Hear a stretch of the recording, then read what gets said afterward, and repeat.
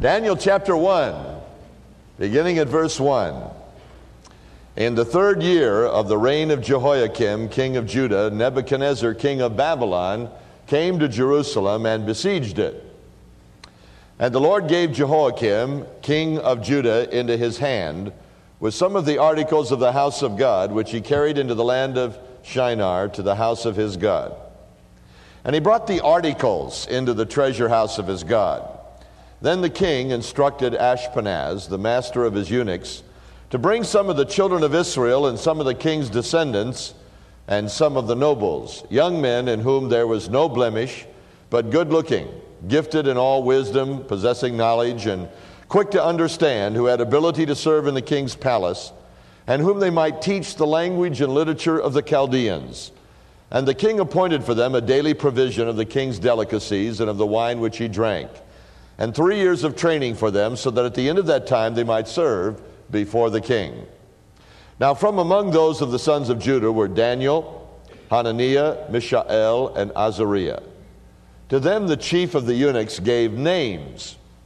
He gave to Daniel the name Belteshazzar, to Hananiah, Shadrach, to Mishael, Meshach, and to Azariah, Abednego.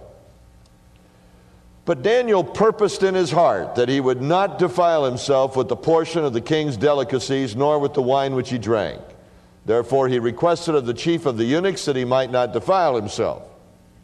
Now, God had brought Daniel into the favor and goodwill of the chief of the eunuchs. And the chief of the eunuchs said to Daniel, I fear my lord the king, who has appointed your food and drink. For why should he see your faces looking worse than the young men who are your age? Then you would endanger my head before the king. So Daniel said to the steward, whom the chief of the eunuchs had set over Daniel, Hananiah, Mishael, and Azariah, Please test your servants for ten days. Let them give us vegetables to eat and water to drink. Then let our countenance be examined before you, and the countenances of the young men who eat the portion of the king's delicacies. And as you see fit, so deal with your servants. So he consented with them in this matter and tested them ten days. And at the end of ten days, their countenance appeared better and fatter in flesh than all the young men who ate the portion of the king's delicacies. Thus the steward took away their portion of delicacies and the wine that they were to drink and gave them vegetables. As for these four young men, God gave them knowledge and skill in all literature and wisdom. And Daniel had understanding in all visions and dreams. Now, at the end of the days, when the king had said that they should be brought in, the chief of the eunuchs brought them in before Nebuchadnezzar. Then the king interviewed them, and among them all none was found like Daniel, Hananiah, Mishael, and Azariah. Therefore they served before the king. And in all matters of wisdom and understanding about which the king examined them, he found them ten times better than all the magicians and astrologers who were in all his realm. Thus Daniel, Daniel continued until the first year of King Cyrus. Will you join me, please, in prayer? Father, we thank you so much for your word. And God, I pray that you'll open up our hearts to the great teaching and prophecy of this wonderful book. And you'll prepare us that we might be ready for the return of Jesus Christ. We might know how to live in this secular society that's so much like ancient Babylon. Help us, Lord, to be like Daniel, to purpose in our heart to live for you and not to defile ourselves. Thank you in Jesus' name. Amen. Well, we call it Dare to be a Daniel. I don't know about you, but years ago in Sunday school, we sang this song Dare to be a Daniel, dare to stand alone, dare to have a purpose firm, dare to make it known, dare to be a Daniel. Uh, this passage was used in various ways. Take my mom and dad, for instance whenever I made any remark at our table concerning vegetables, I was reminded of Daniel. Parents have used this for years, I don't know how successfully, to urge their kids to eat vegetables. But what a story it is. But we need to know a little bit more about Daniel. First of all, we believe Daniel wrote the book. You say, well, it says Daniel. Did you know there are very few people who believe that Daniel wrote the book? The only ones I know are ones who believe the Bible is the inspired, and inerrant Word of God. I have a ton of commentaries on Daniel. Most of them say it's somebody else. They cannot believe that Daniel who lived at the time of the Babylonian captivity, wrote this book. There are lots of reasons why they believe this book had to be written after, after Antiochus Epiphanes, who ruled and uh, conquered uh, Jerusalem and desecrated the uh, rebuilt temple by sacrificing a pig on it. The time of the Maccabees, about 167 to 164 BC. They say whoever wrote it had to live after that time. Why? Because Daniel predicts in great detail all of the nations of the world from Babylon on. He explains that it's going to be Medo Persia before they ever existed. He explains there will be a Greece before it ever happened. He explains the breakup of Alexander the Great's empire into four generals. Uh, he also explains the coming of the Roman Empire. He also explains uh, in the breakup of Alexander the Great's Grecian Empire, uh, the battles of the Ptolemies and the Seleucids over Israel. He gives it blow by blow, king by king, and the historical accuracy of Daniel chapter 11 is unquestioned. Therefore, people who read it say there's no way he could have written it before it happened, because if you believe that, then you'd have to believe.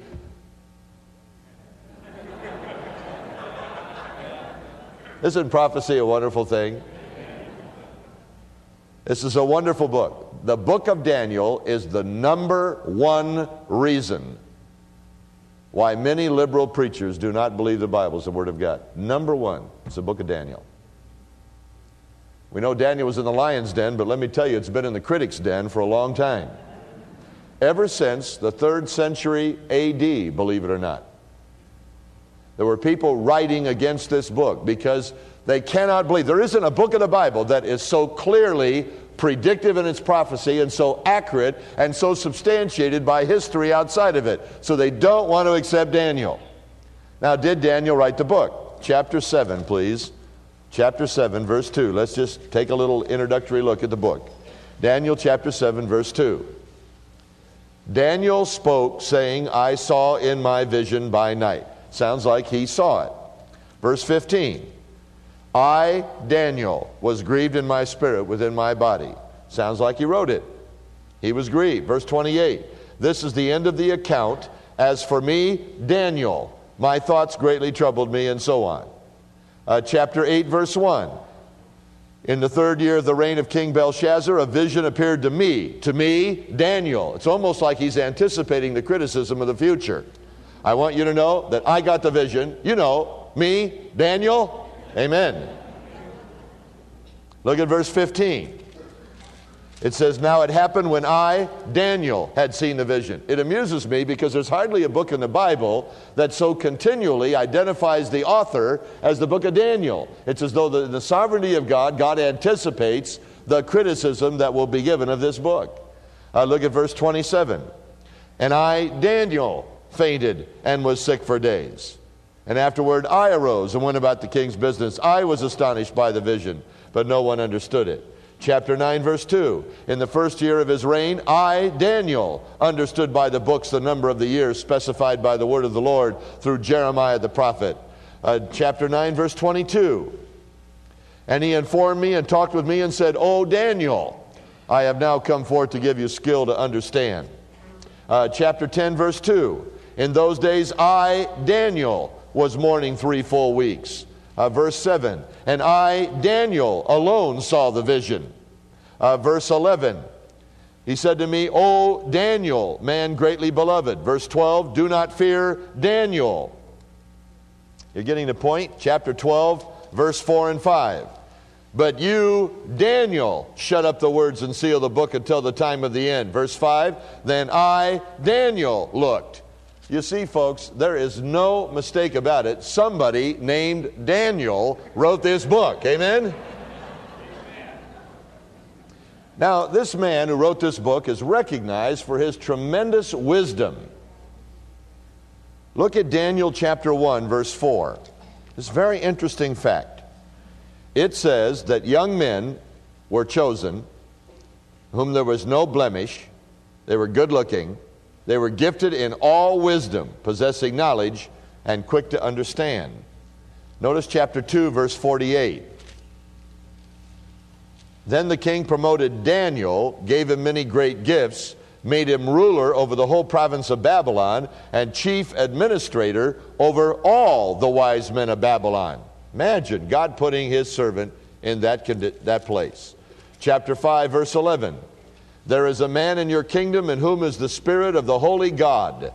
And in the days of your father, light and understanding and wisdom, like the wisdom of the gods, were found in him. So his wisdom, uh, his leadership is presented. It's one of the great stories of the Bible how God takes one of his servants and puts them in an unusual place in a secular culture uh, to be used mightily by him. Now, the events and the names of the book of Daniel clearly show that it's the time of the Babylonian captivity. That's the 6th century BC. And it also indicates the conquest of Babylon by the Medes and the Persians. And we'll talk more about that as we move along. There's something unusual about Daniel. There's a long Aramaic section of Daniel. Aramaic is a form of Hebrew, it's a Semitic language. It was a language spoken by our Lord and his disciples at the time of the writing of the New Testament. In the first century AD, the Jews in Israel spoke Aramaic. Now, this Aramaic language was the language of the court and the nobility of the Babylonians. And uh, most of the Old Testament is written in Hebrew.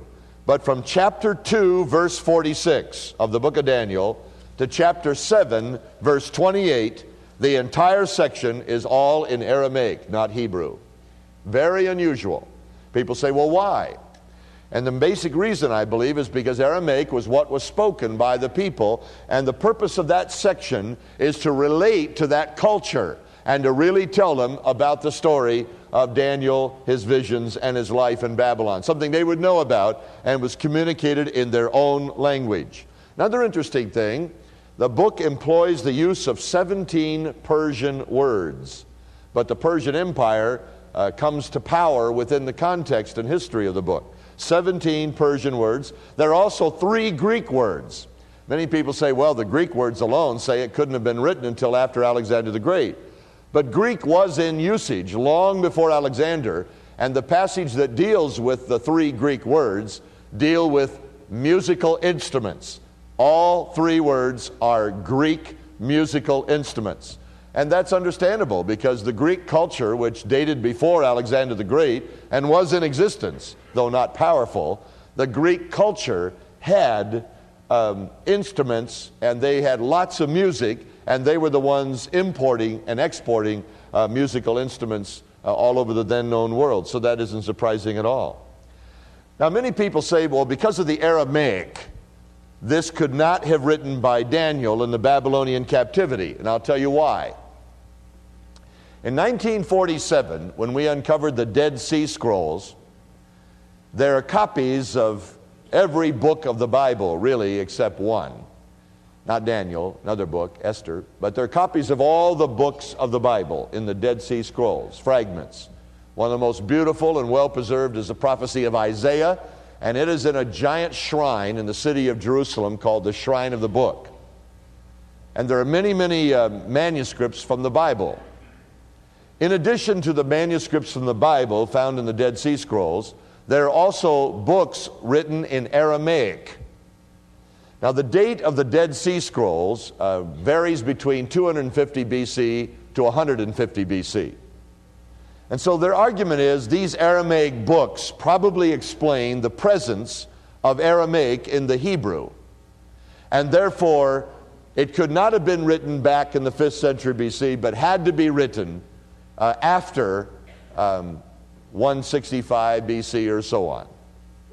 My answer to that, um, although this is a small detail, but maybe somebody in the audience cares. But anyway, it may be a small detail, but it's important to me. And I hope it's important to you.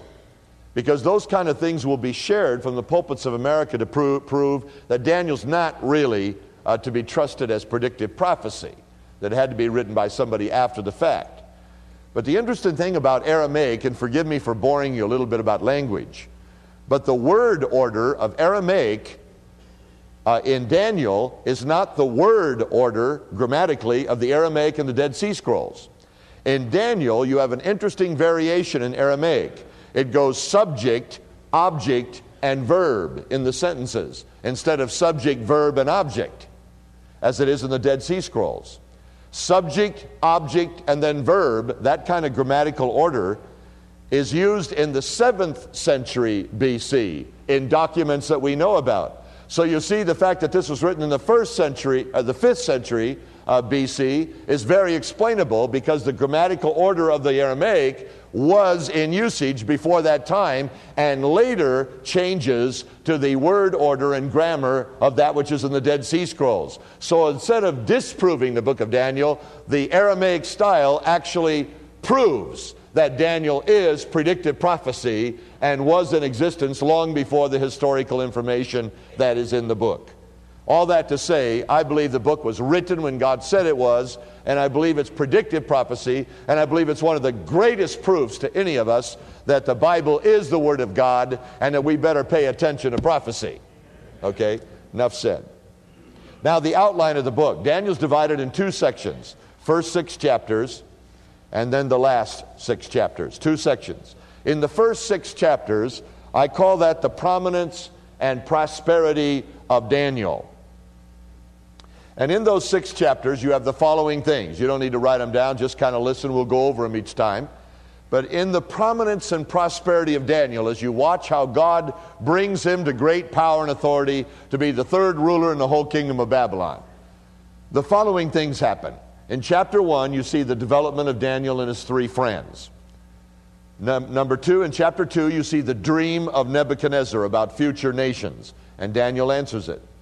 Number three, in chapter three, you see the decree of the fiery furnace and how God uses that. Uh, four, you see the second dream of Nebuchadnezzar about himself in chapter four. In chapter five, you have a description of Babylon's fall. And by the way, history substantiates that's exactly accurate in Daniel chapter 5.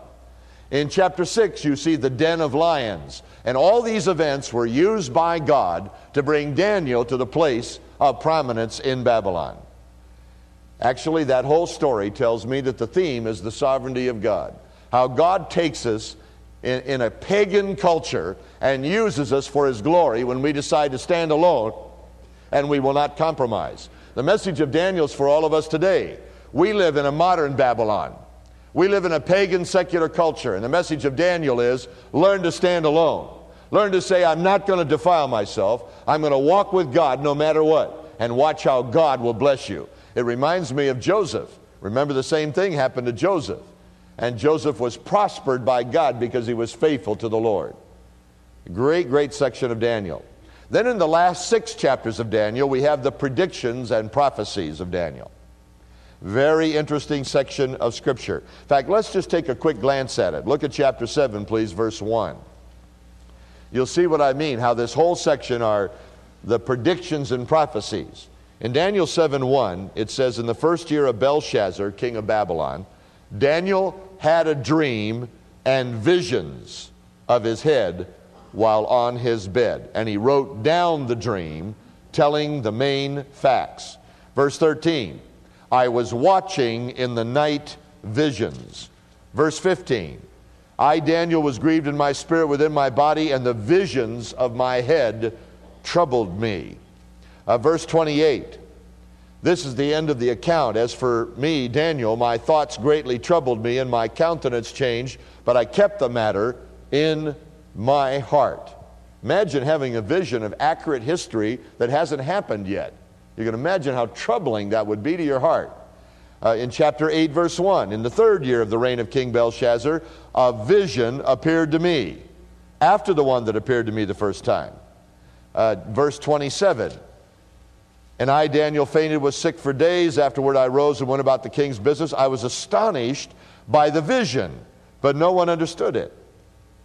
Uh, in chapter 9, verse 2, in the first year of his reign, I, Daniel, understood by the books the number of the years specified by the word of the Lord. It was 70, by the way, given through Jeremiah the prophet, that he would accomplish 70 years in the desolations of Jerusalem.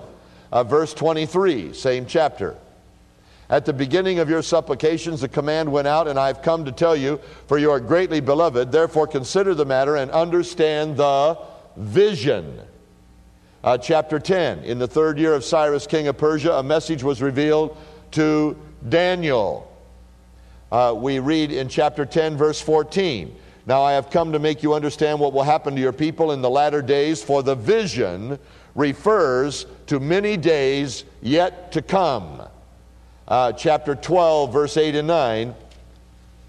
Chapter 12, verse 8 and 9. Although I had heard, I did not understand. Then I said, My Lord, what shall be the end of these things? And he said, Go your way, Daniel, for the words are closed up and sealed till the time of the end.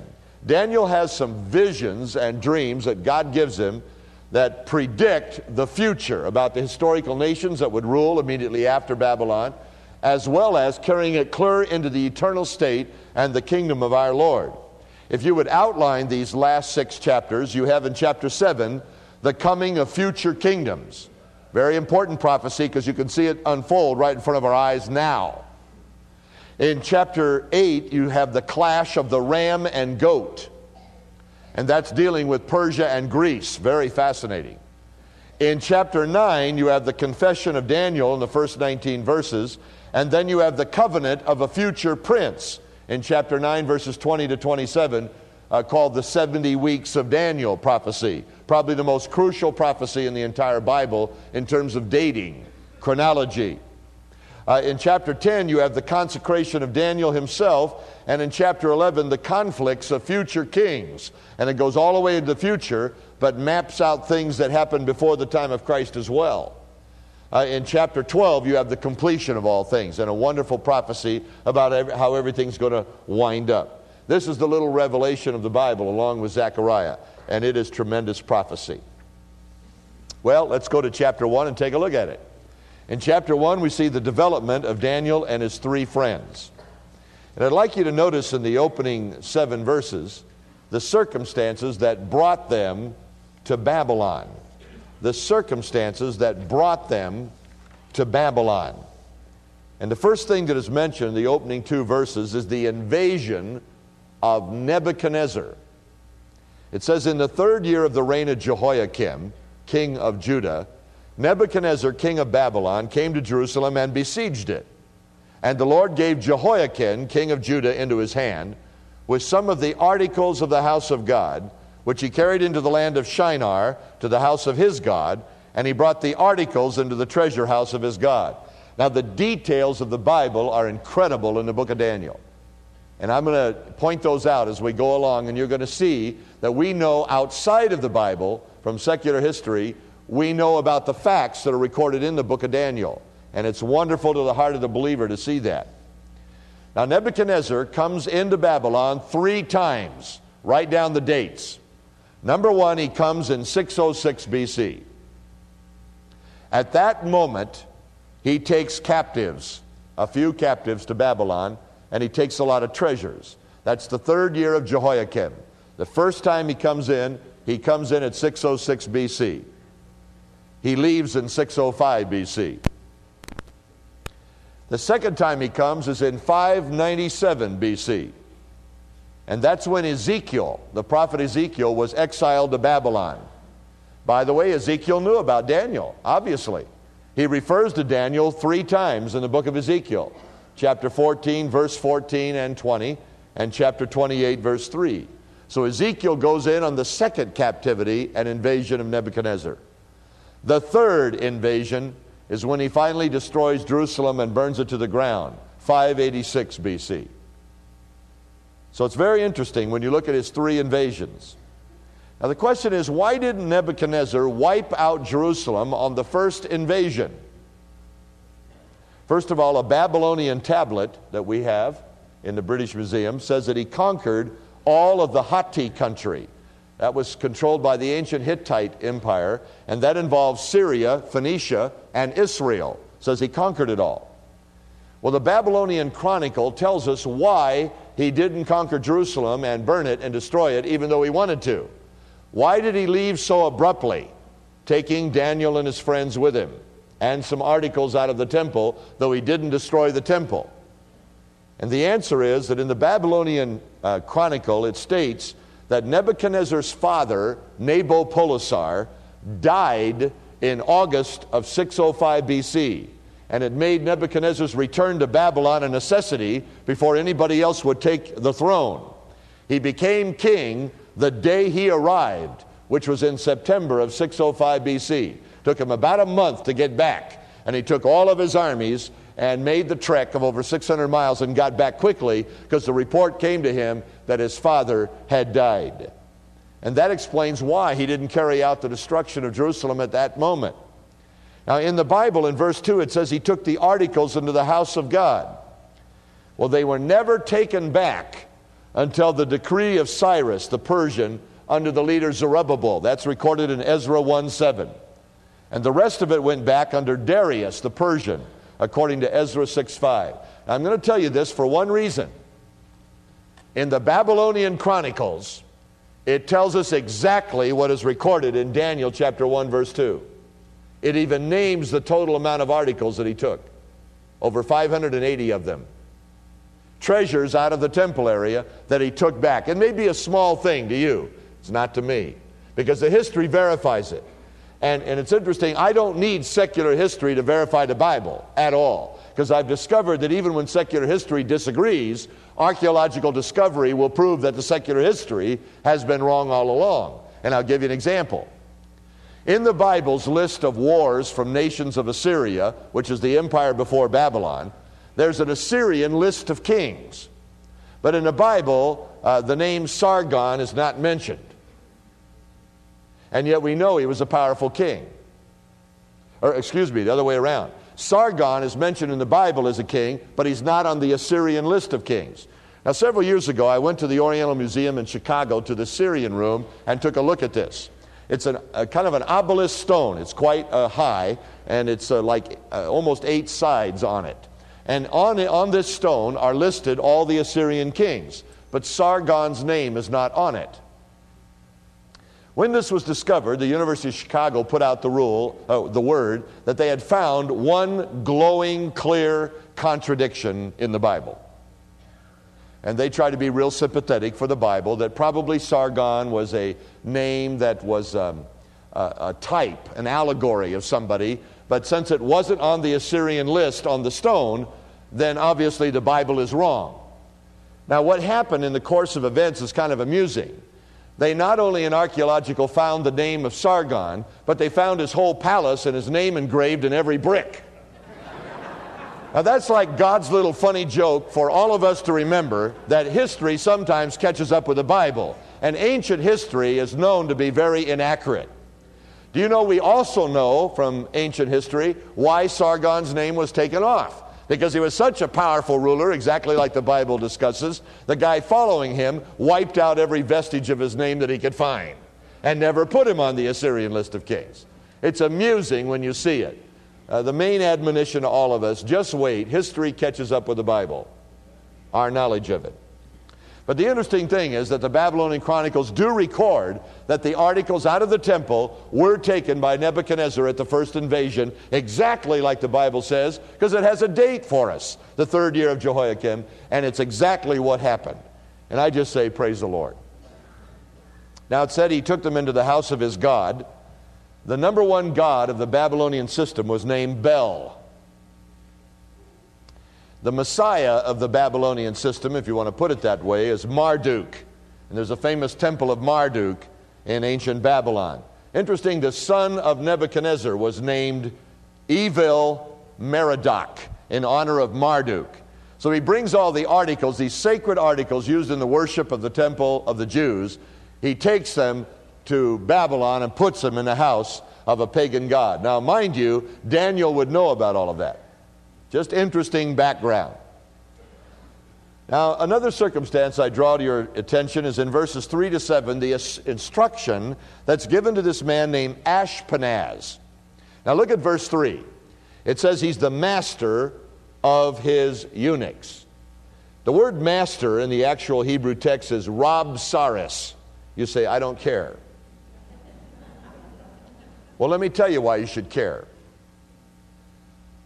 Rabsaris, that name called Master of the Eunuchs, for many, many years never appeared in any history whatsoever. And liberal critics said there is a clear example why the Bible is just a bunch of myths. this Ashpenaz, master of the eunuchs. There is no such master of the eunuchs. There is no Rabsaris, this particular job with such importance, ever in any of the Babylonian history. Well, you know that's interesting because we found a conical brick in which the exact name is listed, and you can go visit it in the British Museum. And I've seen it. And I, I, once again say to you, it may be a small little deal to you, but it's not a small deal to me.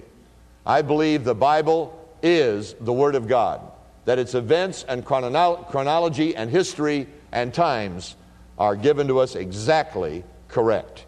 And it only takes a matter of time to prove it. Now, in the instruction given to this Ashpenaz, the master of the eunuchs, uh, he was told to bring some of the children of Israel to Babylon. And Nebuchadnezzar is going to take the brightest young men and he's going to change them. And he's going to show to all the Jews what he can do to their best young men. Now, the goal here, you have to think about it, something that ancient monarchs love to do. Take the best young men out of a conquered culture and turn them into Babylonians and prove that people really, if they were taught well, would rather prefer your way of life than the one they had. So that's behind all of this. The prerequisites are in verse 4. We want guys that are good looking. Uh, we want them without blemish. So health and appearance were factors, as well as knowledge and ability. They wanted the very best young men that the Israeli society could provide. Now, the plan is outlined in verses 5 to 7 for us, and it involved three things that were to be altered. Now, people, listen carefully right now and ask yourself if this isn't what our society is doing to us. Three things they wanted to alter about these Jewish young men. One was their mental capacity, they wanted them to think differently. So, we're going to teach them the language and literature of the Chaldeans. We're going to change the way they think. These young men who were trained in Jewish thought and literature, followed the Torah, the law of God, these young men are now going to be trained in all the ways of the world. How many of you have gone to school that have trained you in all the ways of the world? Amen. Lots of us have. And the sad thing is that many people have been affected by the ways of the world. Several years ago, I was um, confronted by students that were in our my church. It was in uh, Long Beach at the time. There were students at Long Beach State University who were being really influenced by a particular class. I decided to attend it, to audit it. So I went, trying to make a firm commitment not to talk, which is very hard for me. But anyway, I sat in that class to hear this teacher. Now, the first thing that surprised me is that he was teaching theories about the Bible and religion that were at least 25 to 30 years old. So the guy certainly wasn't keeping up. I could have given him better liberal arguments, but he was using very old theories to try to snow the students. Now, the day I came to class the first time, because I missed several when I came in, but the very first day I came, the discussion was dealing with evolution. And he was on the subject of paleontology, the structure of the Earth's surface. Now, if I hadn't have been there, I wouldn't have believed it. But I sat in that class, about 200 students. I was sitting in the back. And he was trying to explain uh, that the whole business of fossils in a given structure uh, proves the dating of the Bible or the dating of history and proves the Bible is incorrect. And uh, he was going on to this, and what he said was that by the nature of the fossils in a given structure, that determines how old that strata is. That was his basic argument. So students were cruising along listening to this. And one little guy in the front row raised his hand. And the teacher was obviously annoyed. It's a large class, it wasn't time for a lot of discussion. All right, what is it? The kid said, Well, how do you know how old the fossils are? I mean, a very simple question. The teacher said, By the strata in which it appears and he continued teaching. I wonder what anybody was going to do. You know, what really bothers me is all students who are trained in the worldly secularism of our day, they were saying things like, all right, heavy man, great, you know. I mean, showing the stupidity of all of us, buying into that. Well, this little kid was troubled. So about five minutes later, he raises his hand again. The teacher says, What is it now? You know, one of those real thrilling responses from your teacher that makes you want to talk to him. What is it now? And the little kid said, Well, how do you know how old the strata is? And you know exactly what he said. He said, By the fossils that appear in it. I mean, I couldn't believe it. You know, I had used. Uh, a lot of things from preaching uh, to, to illustrate how the world thinks. But there I am sitting in this class, PhD from a European university, and he is saying that. That's just reasoning in a circle. It's dumb, dumb, dumb. But you know, people bow down at that. Oh, that's really great. Really. Do you know something? In this society, we got to do exactly what Daniel did. We got to decide whether we're going to defile ourselves with the thinking of the world. Turn to Colossians, please, chapter 2. Colossians chapter 2. The plan of attack here is to change the mental capacity and thinking patterns of these Jewish young men who are committed to God, to infiltrate their minds with secular thought and all the language and literature of the Chaldeans. Colossians chapter 2, verse 6. As you have therefore received Christ Jesus the Lord, so walk in him rooted and built up in him and established in the faith, as you have been taught, abounding in it with thanksgiving. Beware lest anyone cheat you through philosophy and empty deceit, according to the tradition of men, according to the basic principles of the world, and not according to Christ. Be very careful what you're listening to. Back to Daniel chapter 1. The second thing they wanted to do is change their social customs. Change the social customs. Verse 5. Uh, they provided the king's delicacies. Don't you wish you knew what kind of food it was? Doesn't say. My dad used to say that means desserts and they're bad for you. the king's delicacies and of the wine which he drank. So they had a plan to change their social customs. Is everybody listening? It seems to me that Christians walk to the drumbeat of secular society in terms of social custom. It seems to me that instead of teaching young people how to stand alone and to oppose it, we allow the peer group pressure of what they experience on campus to teach them what is the social custom they should buy. And for years now, we've compromised, oh, in our attitude to be cool or communicative or not have people think we're odd or different or whatever. We have adapted to the point that I think we've compromised, frankly. It seems more important now to dress like the unbeliever, to talk like the unbeliever, to go to places where the unbeliever goes, uh, to experience the party time of the unbelievers, to do it all, but oh, be sure to make, uh, make this clear in your heart that you do have your ticket to heaven. But just do whatever the world wants you to do. Even though the Bible says, don't love the world, neither the things that are in the world. But we buy into it. And after all, we want our kids to be accepted and liked. Really. I think it's time for a change. How about you?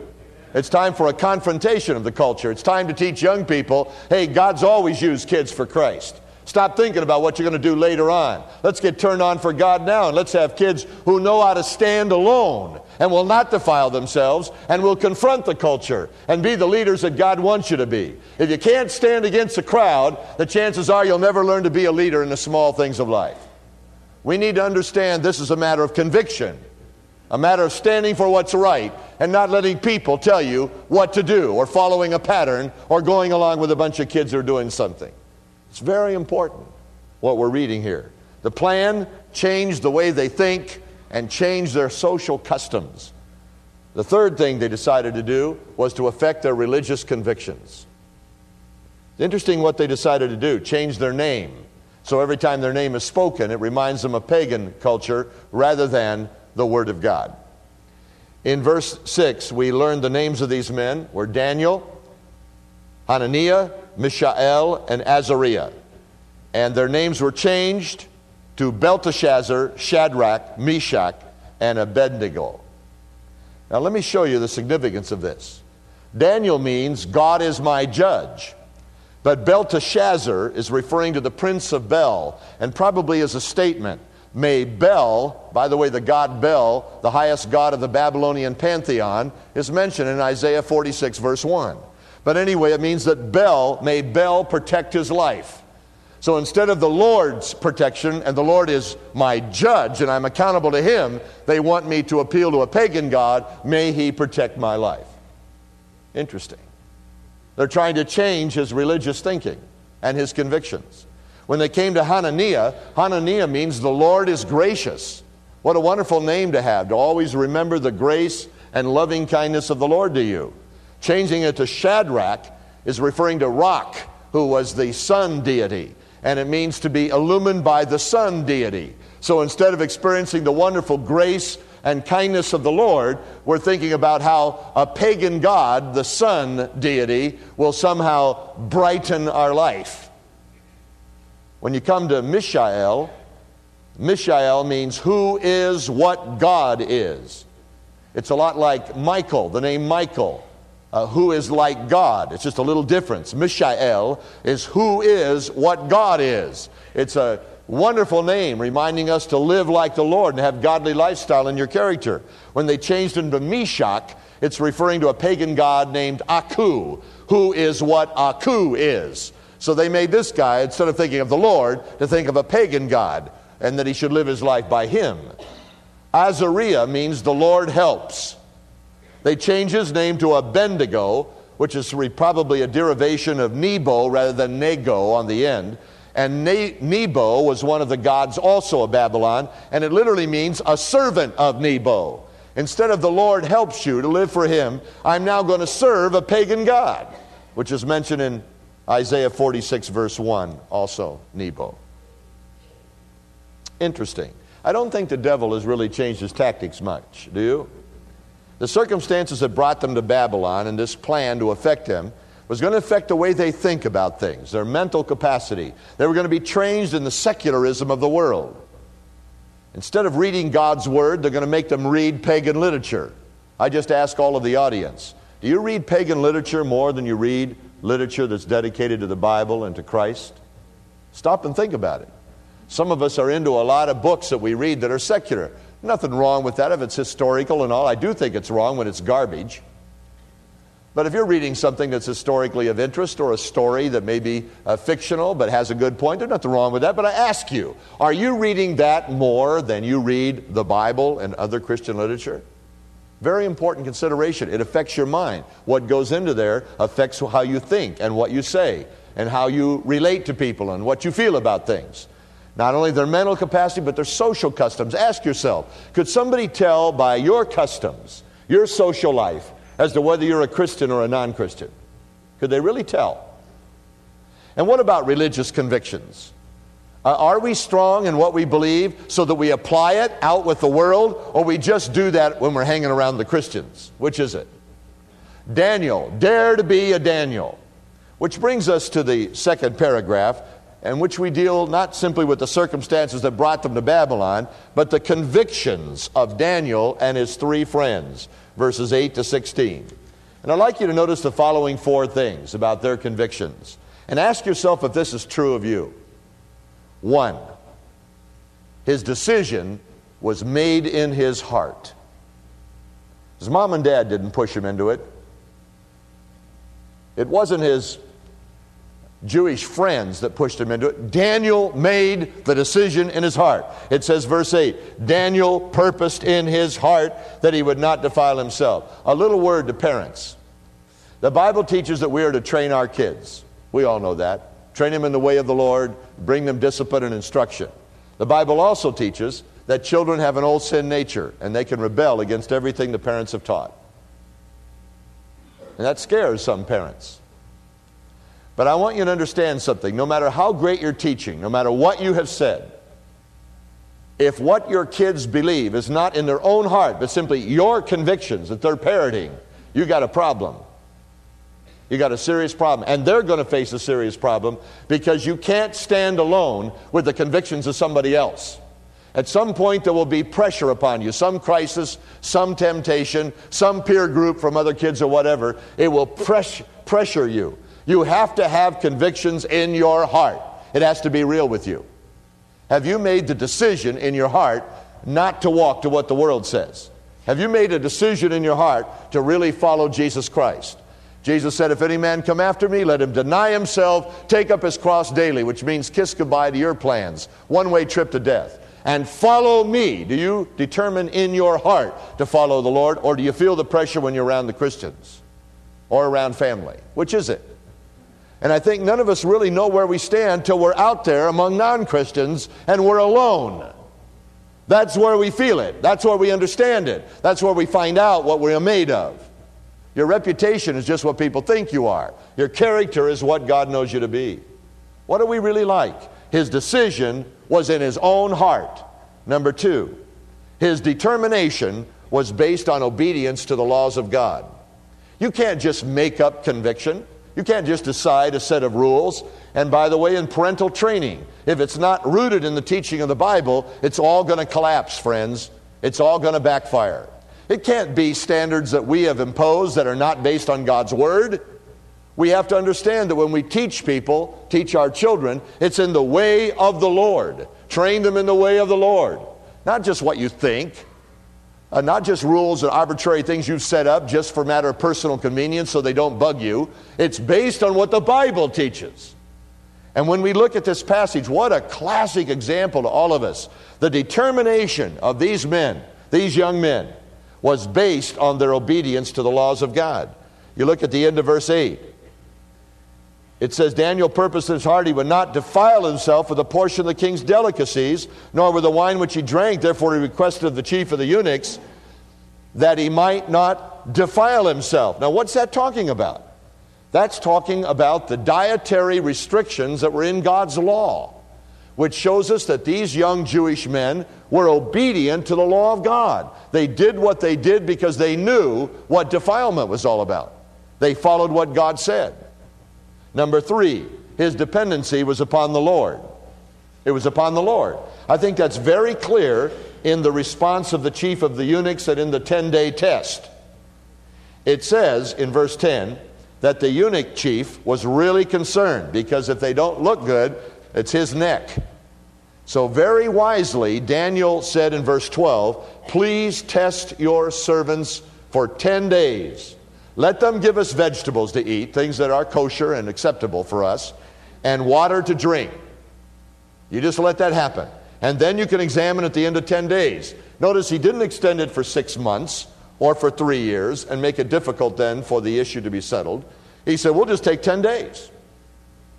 And I tell you that a man to do that had to have dependency upon the Lord. Do you believe that you could really look great in 10 days by eating vegetables? I think if we all believe this, we'd head out and eat some greens this week, huh? And it might be good that we do that. But the point of this is very powerful. His dependency was upon the Lord, and it's evident in the way he gave the 10 day test. He was taking a real chance.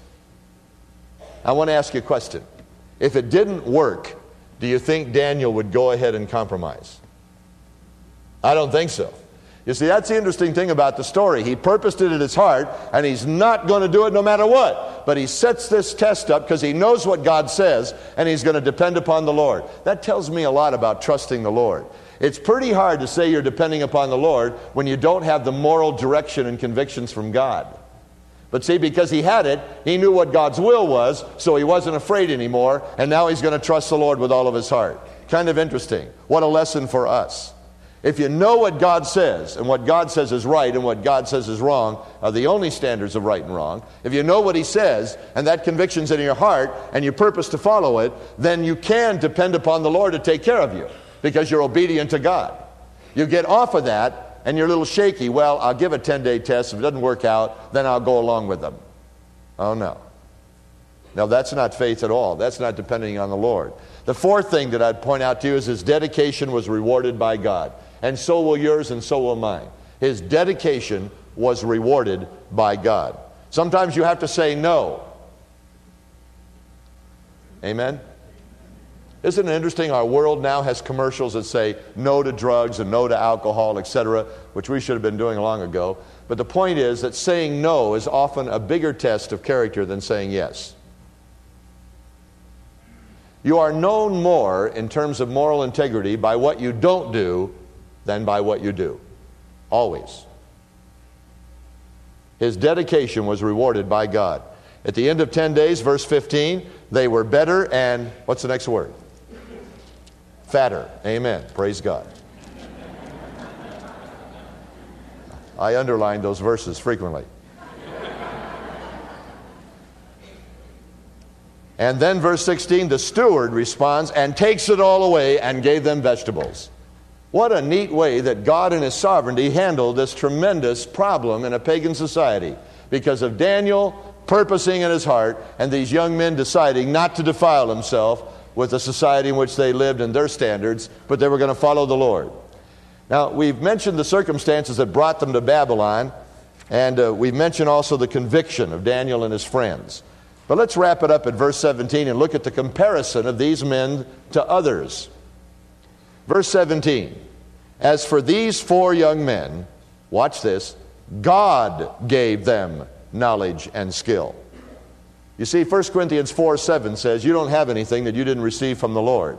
When you honor the Lord and determine to follow in His way, God gives you extra portions of His ability. And it said God gave them knowledge and skill in all lit- lit- literature and wisdom. I'll give you one little example. Several years ago, I was at the National Religious Broadcasters and they had a congressional prayer breakfast. The senators and congressmen are there and so forth. And I was giving the prayer, the invocation to begin this uh, breakfast, and I was sitting at the head table, and the speaker was Ben Haden. Uh, Ben's a former CIA agent who is now the pastor of Highland Park Presbyterian Church in Chattanooga, Tennessee. Very unusual guy. Um, when I'm around him, I tell as many jokes as I can to make him lighten up. He's a very serious dude, if you ever saw him. He looks like a CIA agent and talks to you like he's a CIA agent, you know? Like you, you say something, he'll look at you with a glare and say, Why did you say that?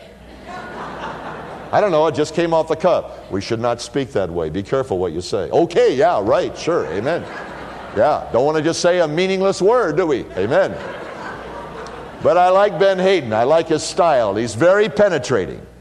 He looks at you like he's watching only you. Many times. I've even seen him on television. He still looks like it. I try to move off to the side, you know. Yeah. He looks like he's looking right at you.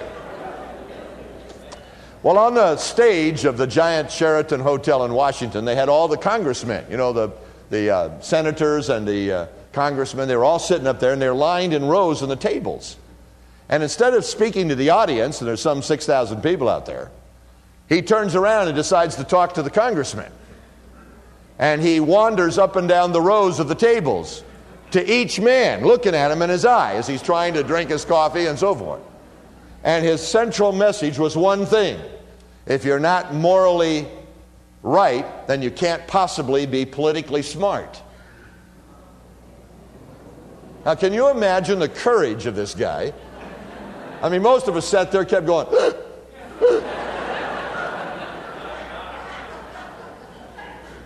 the one I remembered most was McGovern. He was sitting right behind the table. And he stood there quite a long time in front of McGovern talking to him. I think McGovern thought he was going home to be with the Lord. He was scared out of his wits.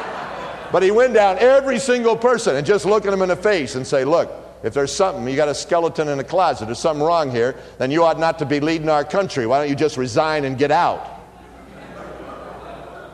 Now, he's just shooting off the hip, you know, to everybody going down up and down the line. I want to tell you, nobody, including me, has ever forgot that message.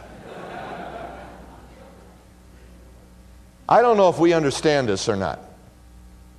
But when you say no to what is wrong, God says yes, bless him.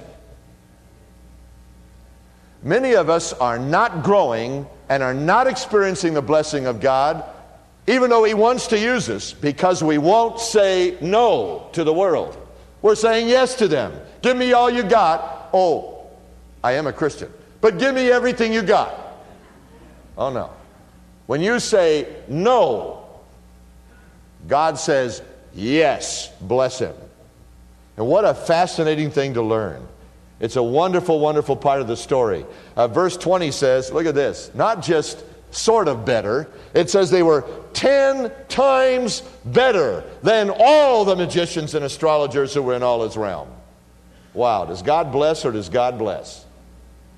Again, the little chorus Dare to be a Daniel, dare to stand alone, dare to have a purpose firm, and dare to make it known. Let's close with prayer. Father, thank you so much for your word. And Lord, I see in this opening chapter why you blessed Daniel and his friends.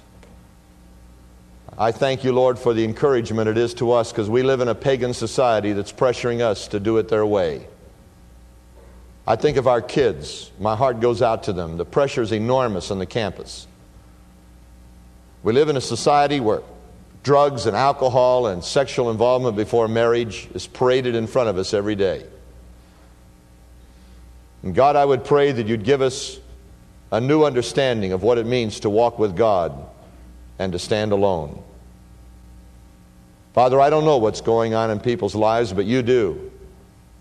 And you said, If my people who are called by my name will humble themselves and pray and seek my face and turn from their wicked ways, then I will hear from heaven, will forgive their sin, and will heal their land. God, bring many of us to the position of Daniel and his friends who purposed in their heart not to defile themselves. We pray in Jesus' name. Amen.